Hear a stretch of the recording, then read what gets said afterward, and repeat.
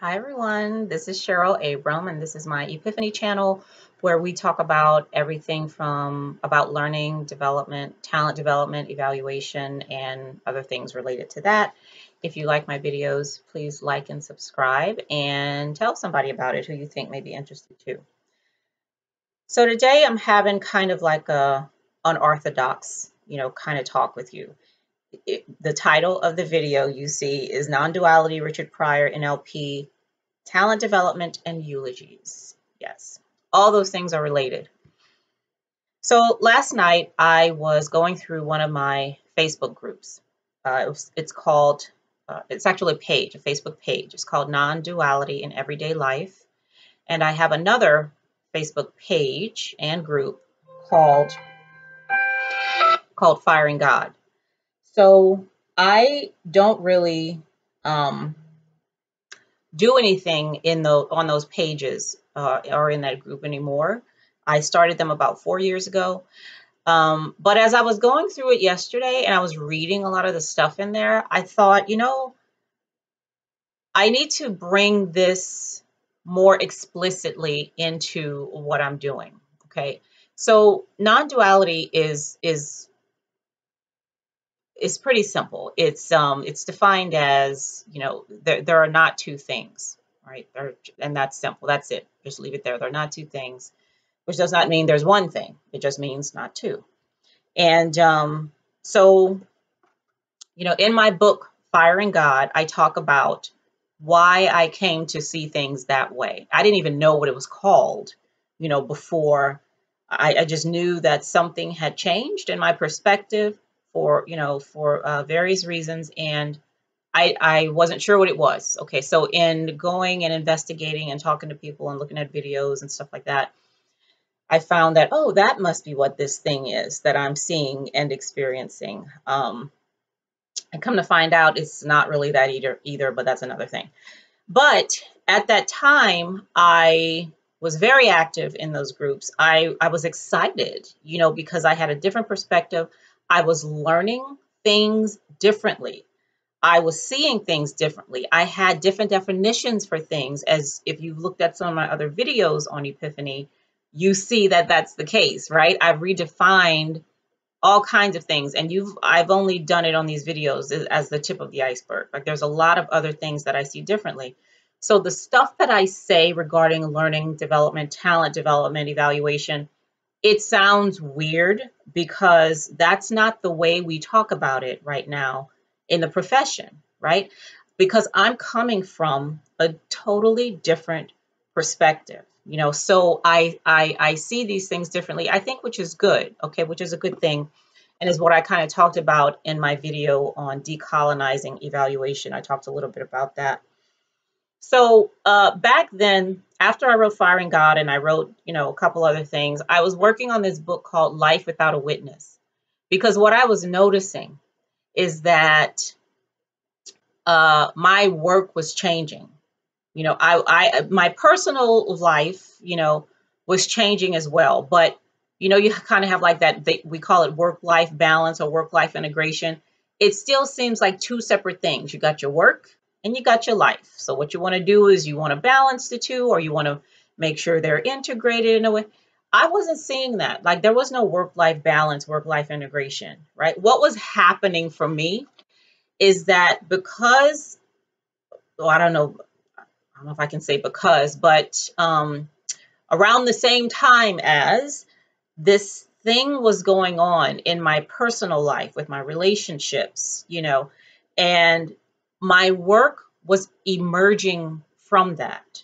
Okay, so it was no integration or balance. It was the work that I'm doing in evaluation and talent development was um, was being born out of out of this stuff that was going on with me in my personal life. You know, so that I couldn't. I there was no line of demarcation. I couldn't say this is my work and this is my life. Right? It would. It was all work or it was just all life. You know, it was just it was all work or all life. It just there was no there was no line. Okay, so when so my videos and a lot of the writing that I do shows that. Okay, I and I what I've been trying to do was to keep it separate. Okay, so this is my thing for this, and now I'm going to have over here, you know, my group for that thing, but I can't. I can't anymore, which is why I stopped posting on my Firing God uh, group and in my non duality in everyday life group because I everything I was saying is just what I was saying, you know, and and so what I decided to do was just, you know, do it, you know, through my work. You do it through my work. But I but life without a witness was just about that. It was about what does non-duality, what does this new perspective, you don't have to call it non-duality. What does this new perspective that I have how uh, what what does it have to do with anything? You know, like what what is okay not to you know, you're seeing all these stuff. So what does that have to do with the fact that my bills still have to get paid? What does it have to do with the fact that, you know, my relationship sucks? What does it have to do you know, with with with the fact of, you know, my my children got to go to college, I'm working all this time, you know, what does it have to do with that? you know, what difference does it make? That's something that we ask all the time in impact evaluation. What difference does it make? Okay? So, Ypifany, this channel, the stuff I talk about here, and the things that I write about and share on LinkedIn and on Facebook is the difference that it makes. Okay, because it does. It absolutely does make a difference, right? And instead of write, so in Life Without a Witness, I was going to write about that. You know, this is how my everyday life looks through a non dual lens or through a lens where I've fired God. Okay. And firing God means that I fire my absolute belief and trust and um, confidence in my various belief systems. Okay, so I'm by firing God, I allow myself to question what I know for sure. Okay, that's what that's about. And again, when you look at my my videos, the evaluation videos, the stuff that I write about unlearning evaluation, that's what that is, right? I had a certain belief system set up about the work I was doing. Okay. So one day, what I did, just like I did in my personal life, right? When I questioned all those beliefs that I had in my personal life, I questioned those those things in my in my work life, you know, and I said, okay, is this true? You know, is the way that I've been doing evaluation, is the way that I've been learning, is the way that I've been telling people about learning and development, is that true?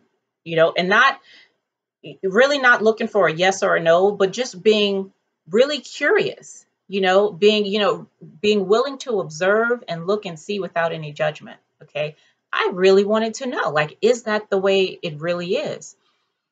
And what I found that uh, the answer isn't no, and the answer isn't yes, but the the answer is it could be a different way, you know, and in this way, this is what it would look like, right? So that's that's what I'm sharing here. And for for my non-dual crowd, you know, which is why I'm going to put this video on my Firing God page and my non-duality for everyday life page because I want you all to to join into and to hear because I'm going to be talking about more than um, than the work for which I get, you know, monetary gain. You know, my, my work I get paid for. It's it's other work that I'm doing, you know, that has where this perspective, you know, has a real impact and makes a big difference, you know, in what I do and how I see myself talk, you know, all of that. It, make, it makes a huge difference in all that. So I am a certified hypnotist, at least as of April of this year. I think I got to go back for some continuing credits. Uh, certified hypnotist, right? And of course, which which also has a lot of impact on the way that I see and I talk about learning development and evaluation. Um, uh, okay, was yeah, hypnotist. So in uh, hypnotism, we learned a little bit about NLP, neuro linguistic programming. Okay, and I love it. I absolutely love it because it really, and that that's just um, uh, you know, it's really about using about the language and behaviors and and how you know and emotions and things that we could actually physically do to help influence the way we feel and and, and think about things and ourselves and stuff like that, right? It sounds really touchy feely, da da da, but it's real, right? The same way that somebody did something horrible to you 10 years ago, you think about that right now and you get upset and mad, your heart starts racing and you can't eat and all this other kind of stuff. It's the same thing, right? You think about something in in a, a different way, right? So that you choose to feel a different way about this thing or see it in a different way. Okay. So it's just as real as you getting mad and upset about something that happened to you two weeks ago. Okay. So because it, it kind of it um it bothers me, you know, when people say this thing is so woo and it makes no sense and it's all this, that, and the other thing. Listen, I wrote a book called Firing God. All right. I used to be highly involved in that stuff, right? But the thing is, is is not about abandoning one belief, you know, and holding on for dear life and not letting go of another, right?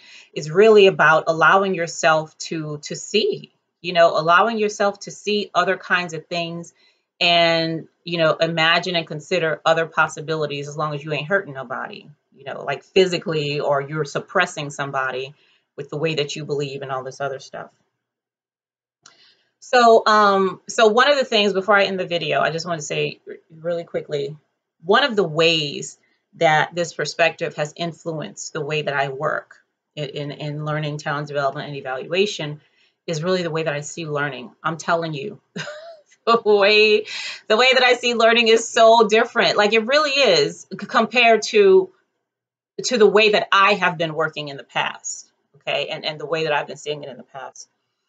I see learning as something that's physical, right? Um, it's living and breathing, physical living and breathing, which means evaluating learning has to be that same thing. You can't bring a dead thing to something alive and try to evaluate it. You know, evaluation has to be living and breathing too.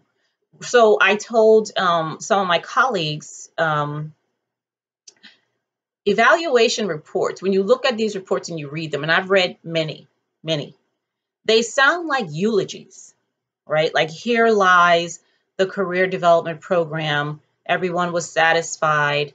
You know, this many people came and you know it it it allowed these people to find mentors and this is what it did you're talking about it like it's dead you know we're asking questions of it like it's gone it's past you know it's it's it's dead and gone right? But it's not. If it if it's dead it's dead okay? If the program is done it's done. But many of these programs that I deal with and I see they're not. Like they're they're running they're going on. So why can't we talk about it like that? You know why can't we ask questions? Why can't we get there in in the program with the people in there and and talk about, you know, in which ways is it vital? Where's the vitality? Where's the excitement? You know, where are things, you know, moving the way they should move? What kind of processes are going on right here? What is the program itself telling you? You know, what is it what is it there for? Right? When you ask about what is a program for, you're not talking about the objective. You're talking about right now, what is this program doing? Like, what is it being used for by people for? And that's a totally different picture than when you're looking at um, whether or not it's meeting its objectives. And um, so that's something I can talk about also uh, a little later. But right now, what I'm going to share with you all, you know, I'm in this video, but I'm going to, I'm working on uh, evaluation criteria for a cybersecurity program. And I'm going to show you some of what I'm talking about here, how learning is is alive it's living it's you know it's a living process. So evaluation has to be just as much of, of a living process as as that is okay? Uh, and I'm going to share that in another video again. So I'm going to put a little bit of what I said down in the, the little notes here uh, so you have that. But again I'm sharing this you know I want my non-dual peeps as well as my learning development and evaluation people to really converge and come together on this thing because we you know this is a different language. Something i i'm constantly saying is that with with practice you have to speak differently. And this was in several books. Like i think uh, tim lahey wrote a book the way you talk defines the way you think something like that. I'll i'll uh, put the correct title uh, down down here uh, under this video. But and also Peter Drucker said, um, you know, uh, with with theory, every theory, every practice has a theory. Every practice has a theory, right? So what I'm talking about, the way I'm talking about doing evaluation as a living thing, seeing learning as a living thing that's going on, right? That's not delegated to anybody. You know, training and learning are two different things. Okay, just because you're training doesn't mean somebody's learning anything. But okay, let's leave that there for now. Um, yeah, so so I'm, I'm gonna I'm gonna show examples of that. But I want I want us to come together and really be a part of this you uh, know, together because learning is the perfect place to talk about perspective and perspective shifts and and growth and maturing you know in in in the way that you think and act. I mean that that's what learning is right? Everything learns. It doesn't take a human mind to learn right? I've said that in another one of my videos right you know everything that matures learns. So so let's uh, you know i think this is a really good you know marriage of the groups you know for us to for learning and development professionals to get into you know the um you know non-dual and and group and groups like that doesn't have to be non-dual again. Like anybody who's interested in growing into your possibilities and and knowing that you can that you're not stuck you know even though you may feel it i felt it sometimes but you're not you're absolutely not stuck and i'm not stuck okay and um this this channel is one way you know that i'm showing that i'm not stuck okay so uh, that's it for today i didn't want this to be too too too long but uh, so thanks for listening and uh, stay tuned for the next video on, on um, those evaluation criteria. Okay, talk to you later. Bye.